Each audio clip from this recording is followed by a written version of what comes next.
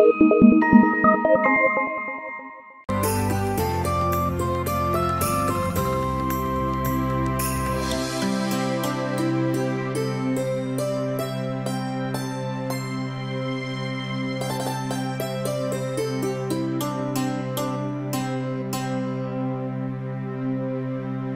நாள் ஒரு முதல ஆத்துல இருந்து வெளியில வந்தது. வந்து ரோஸ் ஆப்பிள் மரத்துக்கு அடியில படுத்தது. அந்த மரத்துக்கு மேல ஒரு குரங்கு வாழ்ந்து வந்தது.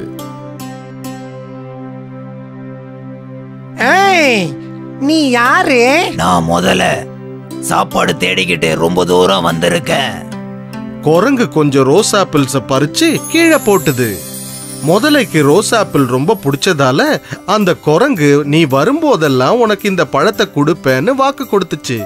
அவங்க ரெண்டு பேரும் நெருங்கிய நண்பர்களாகி நிறைய பேசிக்கிட்டாங்க.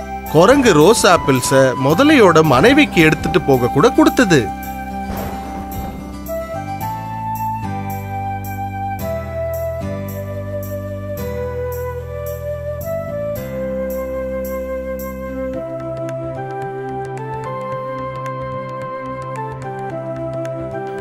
மனைவிக்கு ரோஸ் ஆப்பிள்ஸ கொண்டு போச்சு.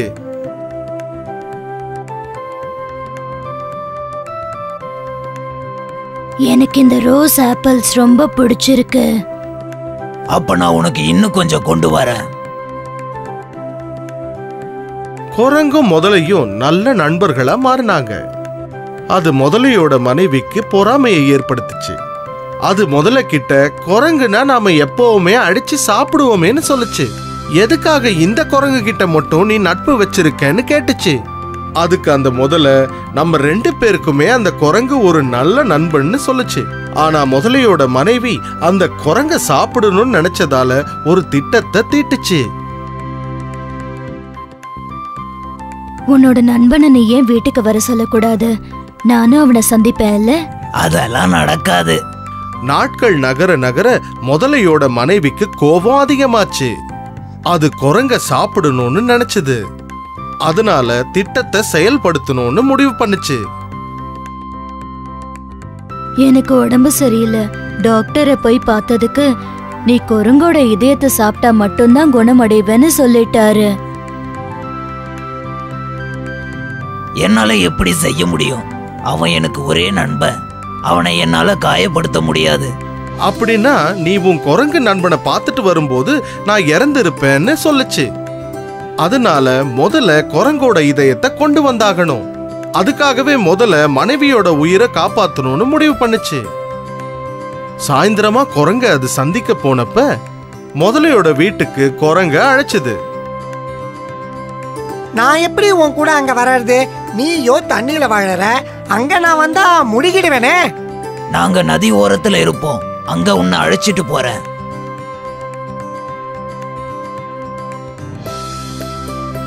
முதல்ல குரங்க தான் முதுகு மேல ஏத்திக்கிட்டு நதியை கடக்க ஆரம்பிச்சது. நதியோட ஆழமான பகுதிக்கு போக போக குரங்குக்கு ரொம்ப பயமா இருந்துச்சு. இதுக்கு மேல போகாத முழுகி செத்து போயிடுவேன். உன்னை நான் கொல்லணும். உன்னோட இதயத்தை என் மனைவி குணப்படுத்த நான் கொண்டு போகணும். அவளுக்கு உடம்பு சரியில்லை.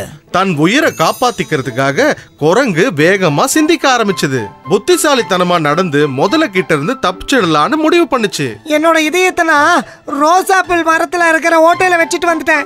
அப்படியா? அப்ப அங்க போய் அதை எடுத்துட்டு வருவோம். முதலையும் இதை நம்பி ரோசாப்பிள் மரத்துக்கிட்ட போச்சு.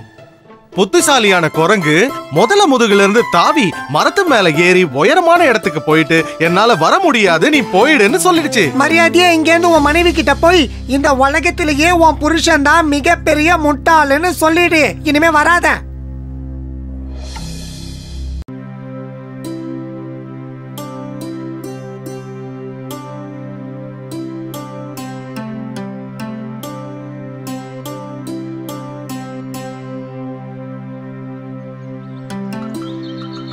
ஒரு காலத்துல மீன்கள் நிறைய இருக்கிற குளத்துக்கிட்ட ஒரு கொக்கு வாழ்ந்துகிட்டு வந்தது.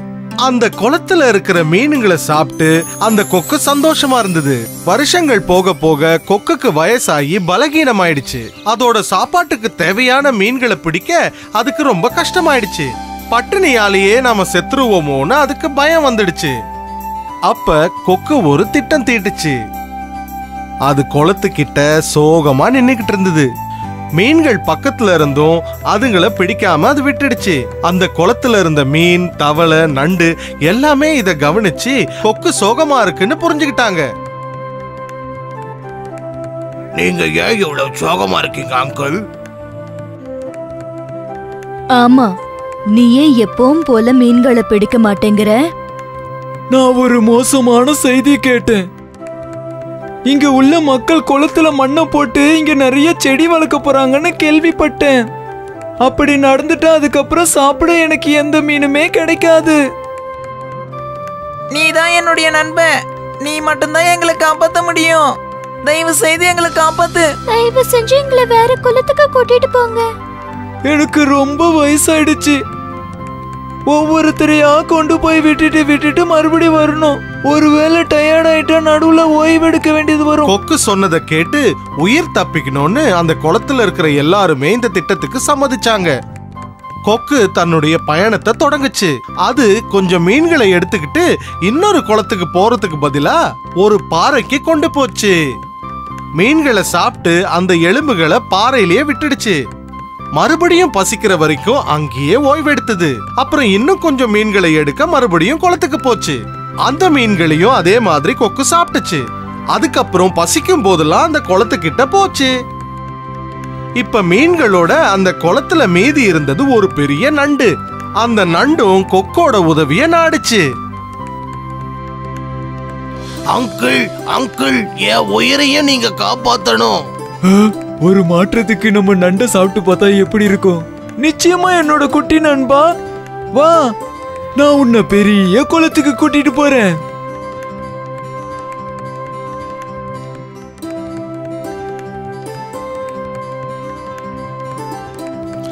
கொக்கு தன் ரக்கைகளை விரிச்சு நண்டோட வானத்துல பறக்க ஆரம்பிச்சது. ஆனா நண்டு கீழே பார்த்தப்ப ஆழமான குளத்தையே அதால பார்க்க முடியல.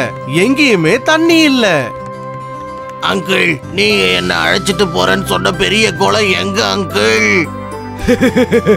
நான் உன்னை சாப்பிட போறேன். அதே மாதிரி தான் மத்த மீன் எல்லாத்தையும் சாப்பிட்டேன்.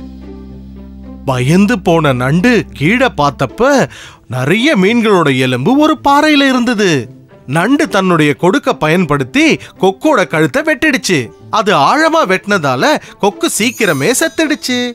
நண்டும் அதோட பழைய குளத்துக்கே திரும்பி போய் நடந்த விஷயத்த மத்த மீனுங்க கிட்ட சொல்லுச்சு. ரொம்ப நன்றி. நீ அந்த மோசமான கொக்கு கிட்ட இருந்து எங்களை காப்பாத்திட்ட. அன்னையிலிருந்து எல்லாருமே சந்தோஷமா வாழ ஆரம்பிச்சாங்க.